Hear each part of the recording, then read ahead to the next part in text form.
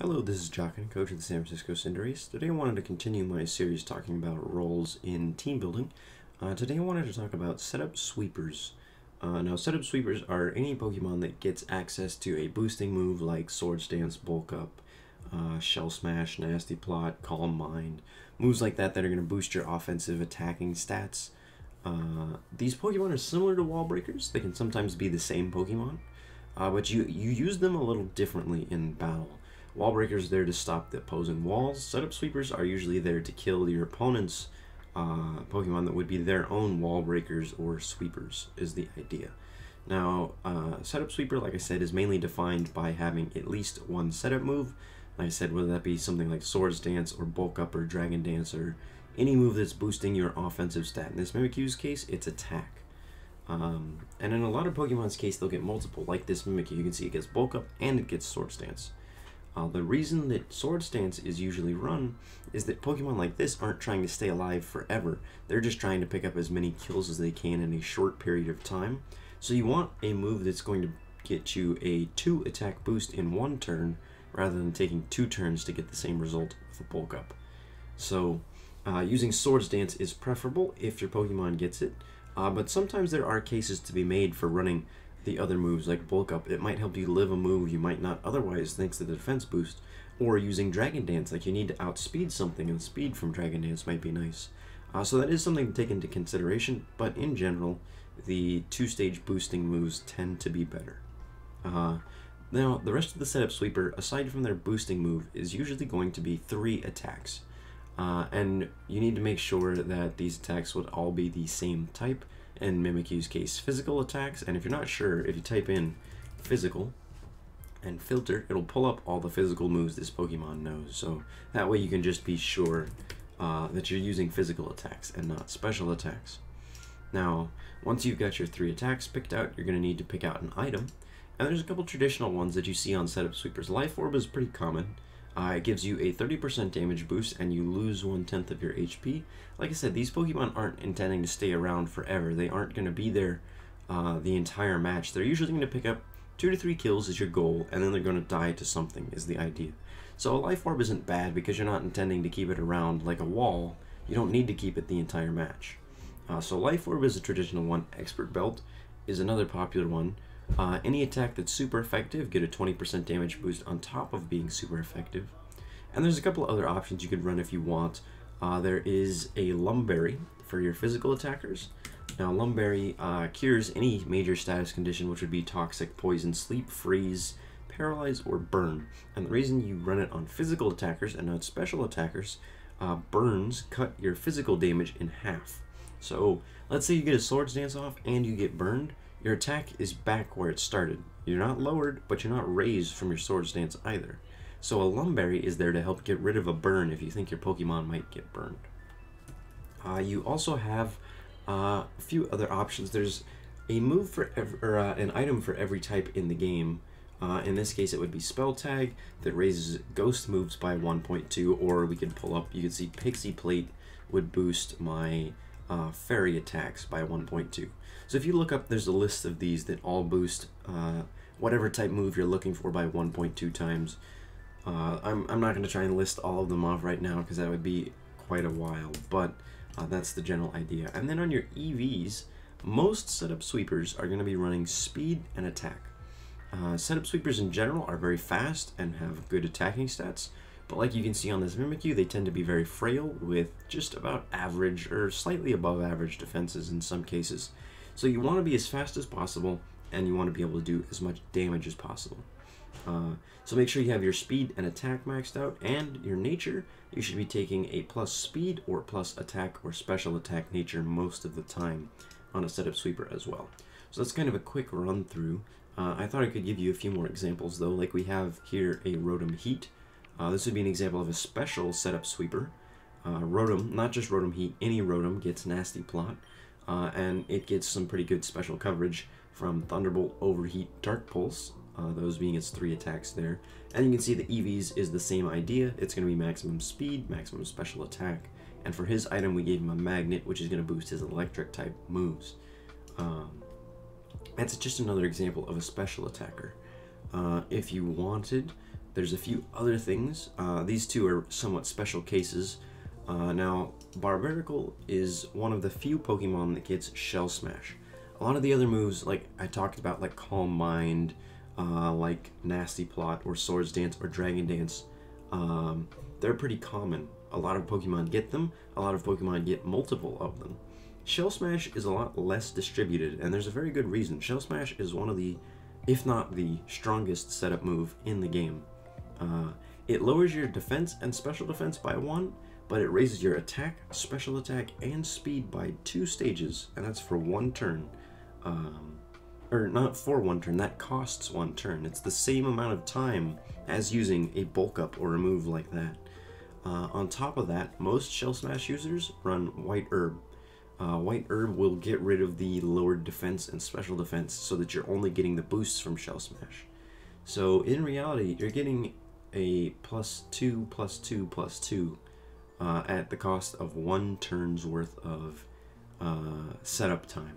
So it's very strong, but like I said, it's only on a few things. The notable ones would be like Cloyster uh, and Barbaracle. I guess Turtonator as well. There might be a few more I'm forgetting, but it's only on a handful of Pokemon. Um, the ones it is on are all very threatening. Barbaracle's pulled off a couple good matches in the league if you want to go and look at him. Uh, I know he got picked up this season. He could be very threatening, and it's something to remember if you have to play against him. Uh, and the last one that's sort of a special case is going to be Volcarona. Now, Volcarona is one of my favorite Pokemon of all time. It's an absolute monster when you use it properly. Uh, it gets Quiver Dance, which is similar to Shell Smash, that it raises special attack, special defense, and speed by one. Uh, that's unique in that there aren't many other moves, setup moves, that boost more than two stats. So getting all three boosted is very nice. And it's all stats Volcarona has that are pretty high to begin with, so you're sort of doubling down on what you're good at already. Uh, this Volcarona set, though, is unique in that Volcarona, because of Quiver Dance boosting three stats at once, can get away with this sort of weird set here, that it's max HP, max defense, and some speed. It has no special attack investment and has a defensive nature. The reason being uh, that Volcarona already has good special attack, special defense, and speed, and you're going to be boosting them with Quiver Dance. So, between the combination of Quiver Dance and this EV spread, you want to stay alive for a while to get maybe one or two Quiver Dances off. So you're going to run Roost. Volcarona gets Roost, which is unusual for a non-flying type, and you're going to carry leftovers to help keep it pretty healthy.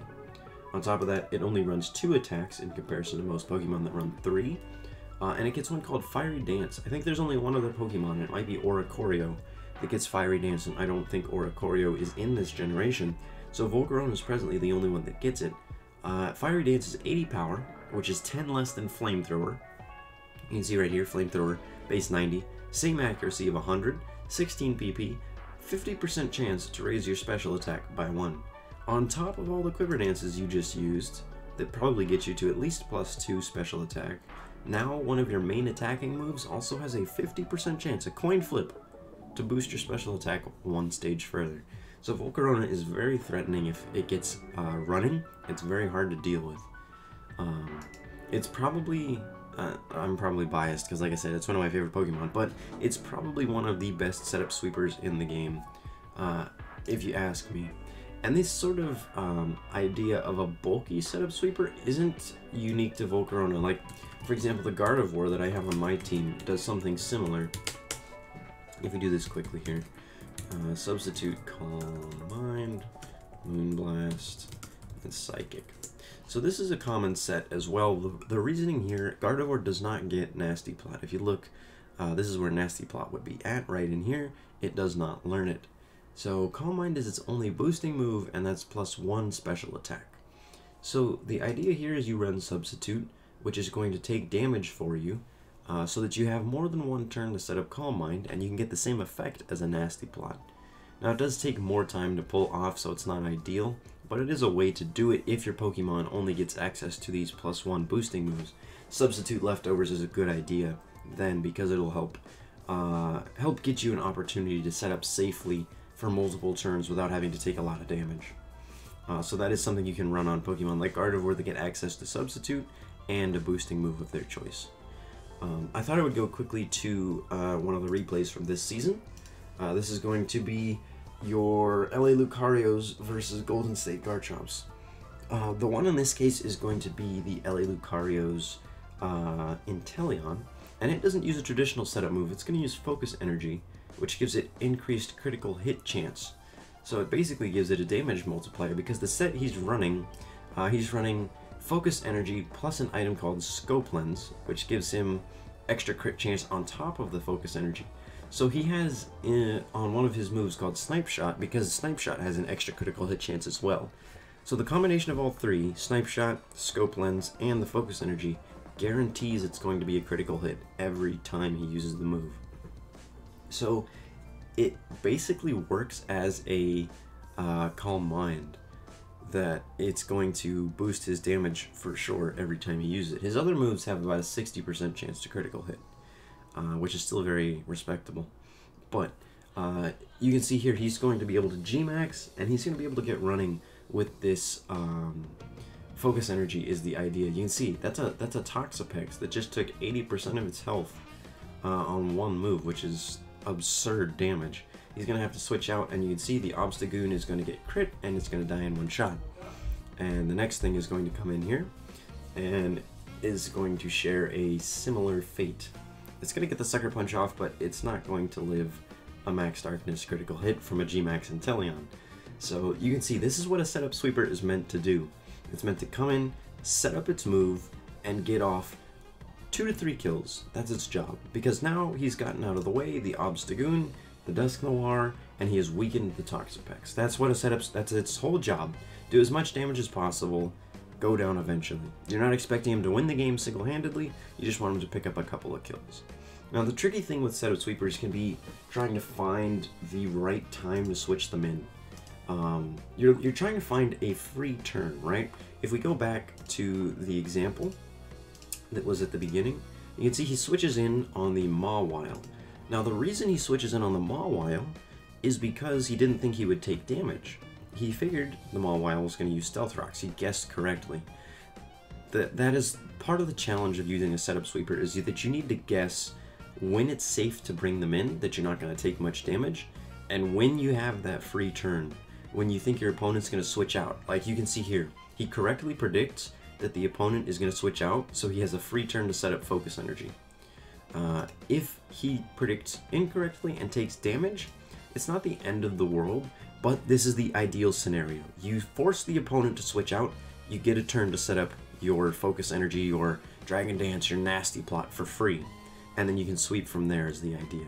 So using the damage calculator to look and see uh, what moves might not do much damage, like for example, um, I've had matches where I know like, oh, this this Pokemon can only do 20% damage to me when I switch in. Like, um, my match against the Mighty Psyducks, had I brought Nasty Plot Salazzle and thought I had a good opportunity to use it, I could have switched in on a Dazzling Gleam because I four times resist it, and I would have taken like 20 to 30%. That's not a bad opportunity to set up Nasty Plot, because that Togekiss doesn't want to stay and fight a Salazzle, because I have the type advantage. So, manipulating that sort of thing is the ideal scenario, and you'll learn those sort of matchups with time as you play the game more, but in general, just try and get your setup move off and go from there. Because once you get it off, just try and do like we saw here. You're just trying to get two to three kills with your Pokemon before it dies. You don't need to worry about holding on to it. Um, and like I said, ideally they should be fast and they should have good attacking stats. So yeah, that's going to be uh, our video about setup sweepers. I hope you enjoyed and found it helpful, and thank you for watching.